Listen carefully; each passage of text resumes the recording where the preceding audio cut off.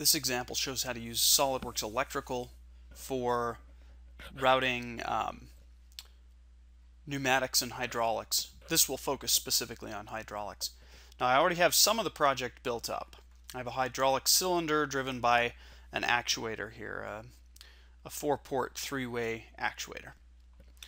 And I've already put a couple other components into the design. I put in a pump, a filter, and those have to come from a reservoir tank, and then I've got my return line going into the return reservoir.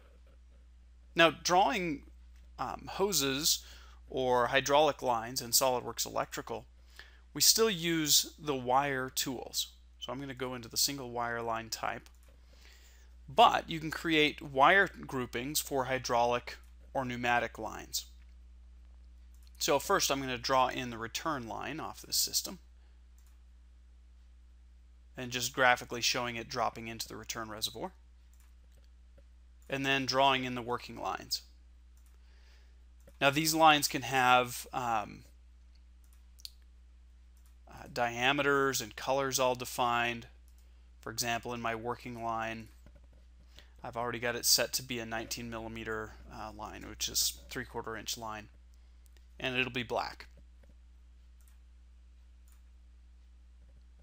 Okay, I'm going to use the black box tool to represent my reservoir on this end.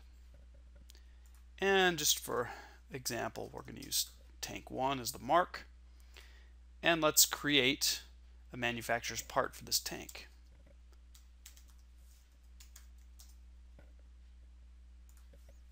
And we'll say that it's a half gallon reservoir.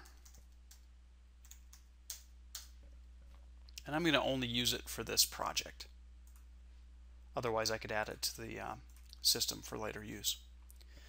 Now, of course, all the manufacturer's parts uh, end up being in the reports.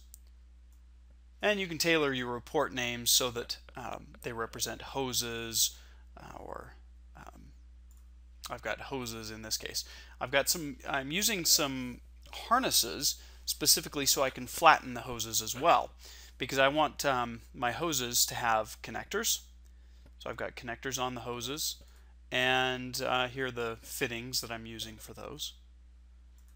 There's the complete bill of materials of all of the manufacturer's parts, including the tank and my hydraulic hose fittings, my hydraulic cylinders, line filters, etc., and my valve.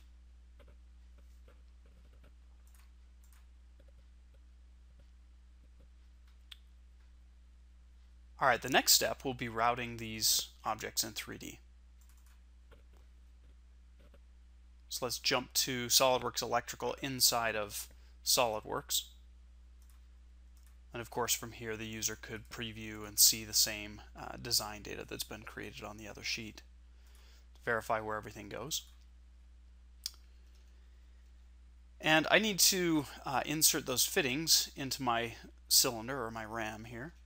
And here's the valve actuator where I'm going to connect them.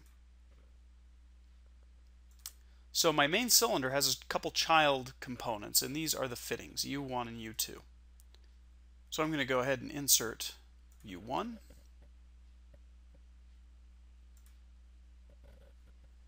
And U2 goes down on the lower end.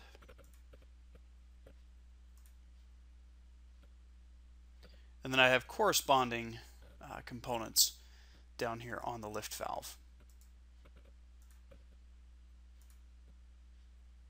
U1 and U2.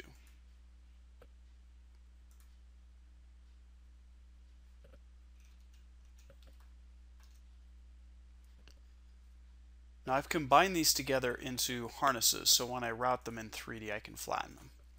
So in the harness selector I could certainly uh, choose to only run hose 1 or only run hose 2, but in this case I'm just going to go ahead and run all of my harnesses. Now there are a couple options. I've got some EW path sketches in my system that I could use uh, to force the route to go immediately. Or in this case, I've suppressed those EW path sketches so that I can route them manually using the SOLIDWORKS routing tools.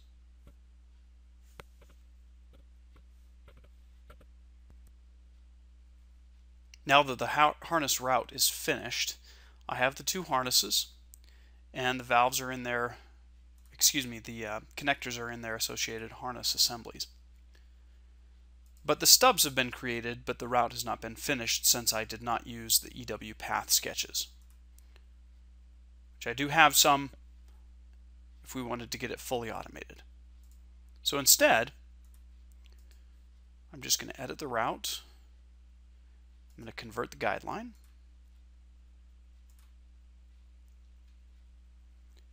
And then to make this uh, a little more um, uh, placed a little more effectively, I'm going to auto route this through an existing clip.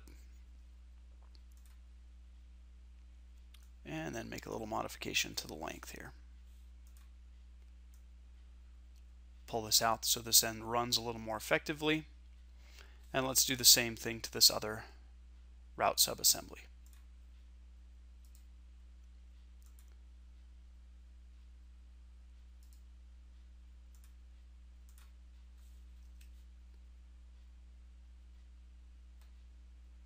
Of course, if you choose, you can always edit the route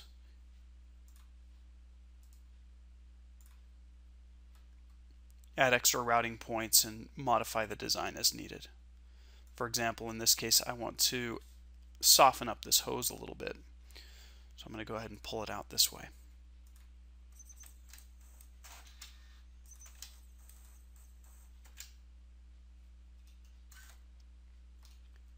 Now after adjusting the hoses, we can always use SOLIDWORKS Electrical to update the lengths that were calculated for our project reports. So from SOLIDWORKS Electrical now, I can go into my reports and see the lengths that have been calculated, but I'm going to go ahead and generate some drawings for my hoses and my bills of materials.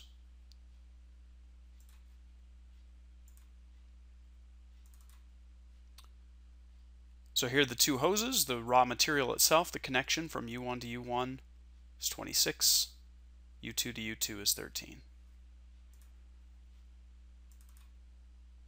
And here are the fittings used.